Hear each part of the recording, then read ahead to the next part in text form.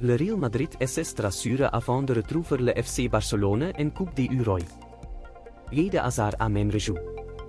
C'est assez rare pour le signaler Ede Hazard à jouer avec le Real Madrid.